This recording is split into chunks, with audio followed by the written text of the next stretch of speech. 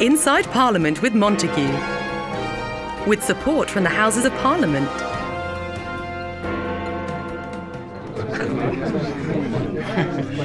Hey up, it's you again. Lots of excitement at Parliament today because the general election has just been announced. The general election is a very important vote. Want to find out more? Come on then. Just need a little gargoyle magic to stretch my legs.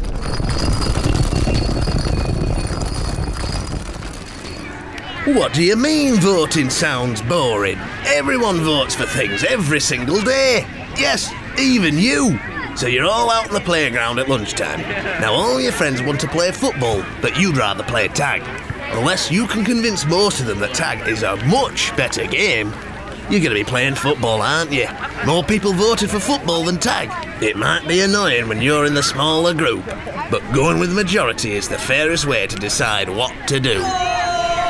We're up in Brantshire. This is Emma Peel's constituency, just three weeks before the general election. The UK is divided into about 650 constituencies. A constituency is just an area of the country with around 70,000 people in. Each constituency gets to elect one person to be their Member of Parliament, or MP. And Emma has been doing a great job for the last Parliament, and she wants to keep the job. and there's plenty of people who are standing against her. So Emma's going to have to work hard to convince as many people as possible to vote for her and not them.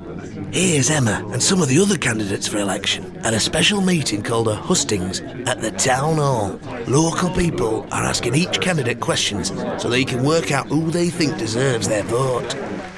The different candidates have very different ideas about things. And some candidates are often more popular than others. It's up to the candidates to convince people that they're the best man or woman for the job.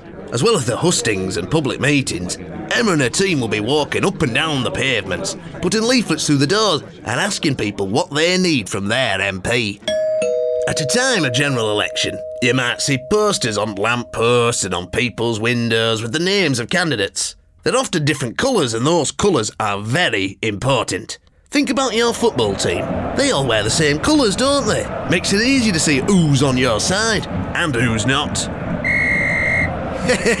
well, the same goes for political parties. They're like teams of people working together who have similar ideas about things. Using colours helps the public know which team or party an MP is part of. For example, in England there are three main parties.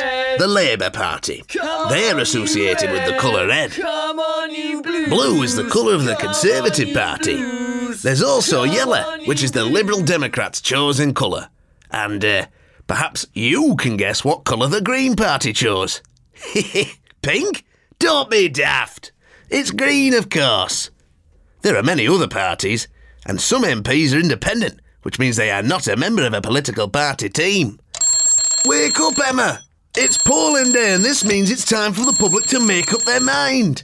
Most citizens who are over 18 are entitled to go to a polling station to cast their vote. They can send a vote by post if they'd prefer. Let's hope Emma's done enough to keep her seat. Sometimes schools are used as polling stations. Maybe yours is and you get the day off. The person voted is given a piece of paper with all the names of all the candidates. They place a cross next to the name of the person they think will do the best job. The paper is folded and put in a lockbox, and that's it. Their vote has been cast. Now it's time to count the votes. This requires hundreds of people counting the papers by hand. This can take hours and hours, but it's got to be done carefully so that the results are accurate. And now the results for And now it's the results. Every citizen gets one vote, and the candidate with the most votes wins. The system is known as first past the post. But has Emma done enough? Emma Peel with 5,402. She's done it! Well done, Emma.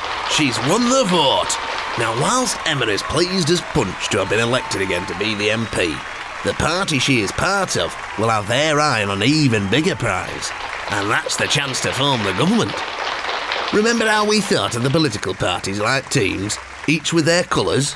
If a team can get over half the seats, then their leader becomes the Prime Minister, and they will become the party in charge. Because they all have similar views on things, they'll know that they'll be able to win most of the votes about running the country. Sometimes no one gets more than half. This can make it difficult for the government to make the laws it wants. In 2010, this happened, and a hung parliament was the result.